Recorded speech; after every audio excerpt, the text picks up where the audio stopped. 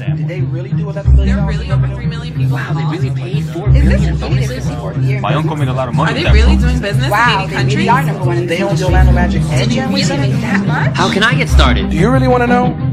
Let me show you.